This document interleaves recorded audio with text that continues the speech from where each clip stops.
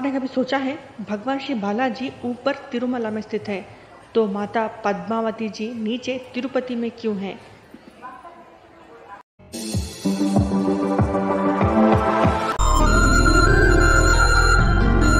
नमस्कार मित्रों, स्वागत है आपका भारत भूमि में। आज आपको माता पद्मावती जी का मंदिर का दर्शन बाहर से ही कराने वाली हूँ। दर्शन कर लीजिएगा, अगर आपने नहीं किया है तो। पद्मावती माता जी का मंदिर है तिरुपति।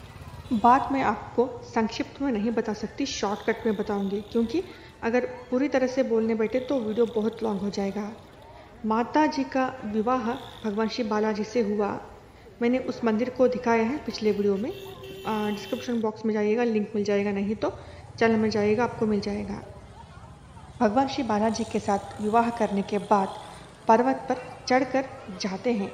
मैंने वो भी अपलोड करके रखा है दो साल पहले, परंतु मैं बताऊँगी ज़रूर और डिस्क्रिप्शन बॉक्स में लिंक भी दूँगी, आप वो भी चेक कीजिएगा। तो उस पर्वत से होकर तिरुमला जाते हैं, कुछ दिन गुजारते हैं। माता लक्ष्मी जी कुल्लूरू में रहकर तपस्या करती रहती है। तो बात जाकर नारद जी, माता लक्ष्मी जी से कहते हैं कि भगवान ने विवाह कर लिया है, आप यहाँ बैठकर तपस्या कर रहे हो?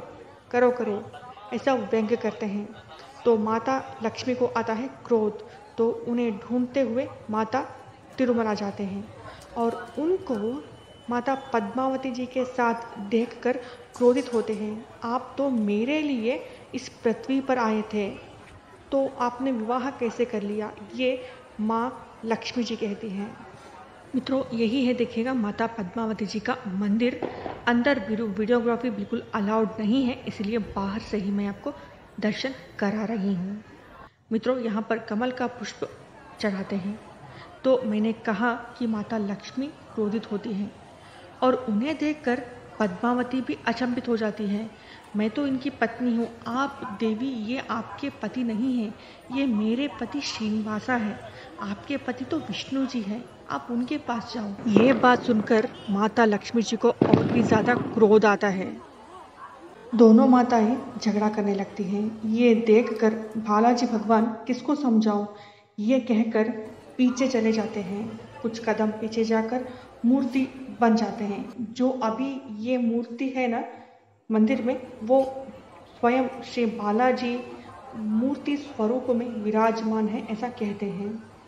भगवान श्री बालाजी को स्तंभ स्वरूप में देखकर दोनों माताएँ विलाप करने लगती हैं।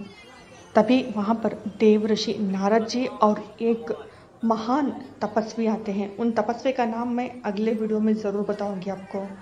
तो वो कहते हैं कि बालाजी का ये लीला था। तो उनका लीला अभी समाप्त हुआ है। देव ऋषि नारद जी माता लक्ष्मी जी को अपना एक अंश यहाँ पर छोड़कर वैकुंठ जाने के लिए कहते हैं। और उसी तरह से माता पद्मावती जी को भी अपना एक अंश वहाँ पर छोड़कर यही स्थल पर आकर तप करने के लिए कहते हैं। ये वही स्थल है माता जी का जो ये मंदिर है ना, ये माँ पद्मावती जी का तपस्थली है।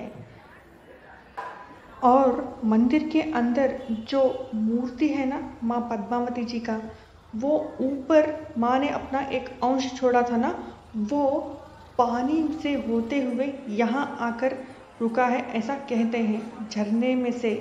यानी ऊपर किसी सुरंग मार्ग से झरने में से होते हुए इस पास में ही एक सरोवर है, वहाँ पर आया है, वो मूर्ति ऐसा कहा जाता है।